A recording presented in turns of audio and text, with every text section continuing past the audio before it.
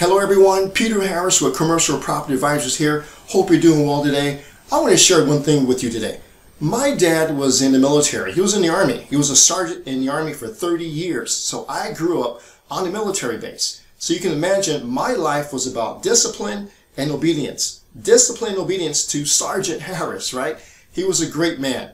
But he also was a sage of the neighborhood. I recall many young people coming to my dad's house, to our house, and sitting with my dad for hours. My, my, my dad would just talk with them. As a kid, I had no clue what they're talking about. But over time, I grew to respect my dad more and more as to why are people coming to our house, right, to listen to what my dad has to say. So with that said, my dad imparted to me, he left with me three life lessons that I'll never forget because they are so true today. Right? So true, and I'll share those with you. Number one is to be kind to people, right? Number two is to work hard and play hard. And number three is that good things never come easily, right? That is so true. Those are so priceless uh, that I still, uh, they still embody me today. Well, in over in my 20 plus years of, of investing in real estate all across this nation and, and mentoring thousands of people, right? Through my books, through my videos, through webinars, and also through mentoring today, I want to share with you what I call real estate life lessons but I have a twist to it. So the twist is I'm going to share with you three real estate life lessons that people learn too late. Let's get started. All right. Number one is life lesson number one is not starting as soon as possible. Starting what? Investing in commercial real estate. People wait too long, right? So is this you? Is this you? You're waiting. You're wanting to time the market. You're going to jump in at the right time. Guess what? The right time will never come, never, never come about. You're going to lose opportunity after opportunity because if you wait here, by the time you get ready here, the prices are up here. Got it? All right.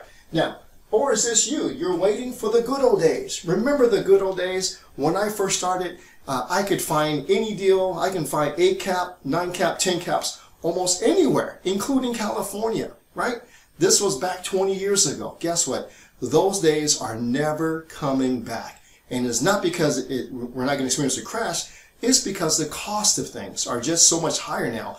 Inflation is so much higher now. So don't expect the good old days. They're not coming back. Okay? Or is this you? Are you waiting to have all of your ducks in a row? You're waiting for this to happen, that to happen, and this to be perfect before you jump in. Guess what? Those three things will probably never happen right? The time is now. Okay? Now, uh, my dad left me a quote. He says, Pete, uh, amateurs sit and wait for inspiration, right? The rest of us get up and go to work. I love that, right? Get up and go to work and bust your butt. That's what he told me.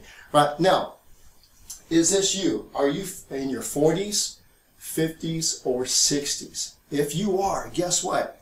You need to start now. But, but, you can't afford to make a mistake because you're you're, you're where I am now. I'm, I'm in this age bracket here, right? So we're, you know, we, we don't have time to recover if we make a big mistake. So, uh, two things. When you're this, when you're this age, this age bracket, you need to measure twice and cut once. And number, number two, you need to get expert help. So don't try to do this by yourself, right? So you don't have a lot of time and you can't make mistakes. Got it? All right. So here's the bottom line. The bottom line is good assets will not get cheaper. They will not. So that means you need to get started as soon as possible. Got it? Okay. Let's go to real estate life lesson number two. Here we are, real estate life lesson number two. And it is being cheap is expensive. Now, cheap in what? Investing in yourself. I want you to invest in yourself. It's going to cost money, but it'd be well worth it, right? So, some guidance here. I want you to be frugal on your personal expenses. Okay? Keep the end goal in mind, right? That means don't buy a boat, right? Don't buy the fancy car, and don't do the addition on the house when you're trying to get into real estate investing. Put the money into real estate and use the real estate to do the car, the boat, and the house addition. Got it? All right. And also, I want you to be aggressive on your business expenses, right? And I have down here top-down goal setting. What that is, this is what I do every single year. And with our students, I ask them, what are your goals, right? They tell me the goals, or I have my goals, and put them at the top.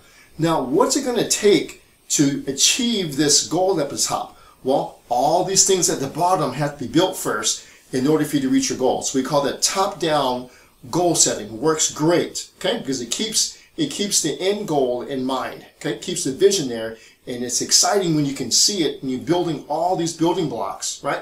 And these building blocks are what we have in our company today. So we help our students with all these building blocks to build this fortune right here of commercial real estate. Okay, now here's a couple of the building blocks. If being cheap is expensive, we want you to hire the best tax advisor. Okay, so don't hire your cousin who works for one of the chain uh, uh, tax uh, companies that do tax preparations, and he works for them, you know, three three months out of the year. That's the wrong person. That's being cheap, and that can cost you a lot of money. So I personally, uh, when I first started, I used a neighborhood accountant to do the properties that I had. There were just a few properties. But after a while, I knew I needed someone more professional. And I went ahead and I spent four times the amount of money with this professional company, but it saved me hundreds of thousands of dollars. Got it? Hundreds of thousands, not tens of thousands, hundreds of thousands of dollars. Okay? Was it worth it? Yes. Okay? So you can't uh, be cheap because it can be expensive. Now I have a link here on, on the taxes. Commercial estate investing and taxes go hand in hand because commercial estate, there's so many wonderful, wonderful things you can do tax-wise. So I'm going to share this video with you. The video link will appear on the screen of how you can maximize your tax returns using commercial real estate investing. Okay. All right. Next is hire the best real estate advisor. Okay. There's a video here and uh, it's called the ugly side of commercial real estate investing where this guy wanted our help, but it was too cheap and he took the advice of someone else and it didn't end well. Let me just say that. Okay. So hire the best advisors, hire the best people to help you, right? Again, if you're in your 40s, 50s, or 60s, hey, you don't have a uh, you know, time to make a mistake and recover, right? So hire the best. Number three, I want you to spend money on marketing yourself. Okay, so you have to get yourself out there, and then in our company, we teach our students how to go direct to the property owners to get these off-market deals, and it costs money. So those marketing efforts need to be perpetual. Okay, they should never stop, right? In fact, uh, to stop marketing is like you know, stopping your watch to save time. Makes no sense, right? Okay, all right. Hopefully you, you understand now that being cheap can be really, really expensive. Got it? Okay, let's go to real estate life lesson number three.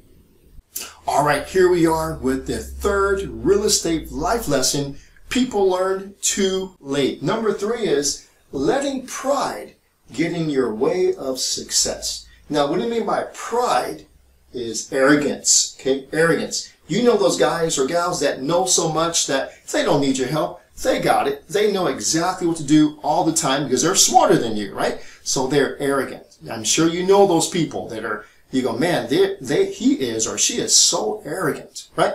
Well, I want to share an ancient scripture with you, and it is so true, and it pertains to them, and it may help you because it sure has helped me. It says that when pride comes, then comes disgrace but with the humble is wisdom. So what that means is, is when, when you're full of arrogance and you're full of pride and you go do something and you're not open to help, oftentimes it's not going to work. You live long enough and you will see that happen to a prideful person or to an arrogant person.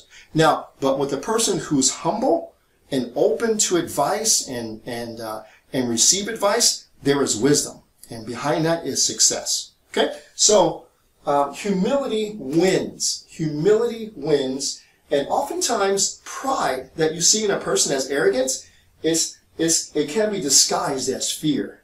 Okay? So, my dad once told me that he goes, Peter, uh, fear is wetting your pants. fear is wetting your pants, but courage is doing what you're supposed to be doing with wet pants. Got it? Okay? Fear is wetting your pants, and then doing what you're supposed to do with wet pants. That is courage. Got it? Okay. So now, I want you to be okay with not knowing what to do, then ask for help. Okay?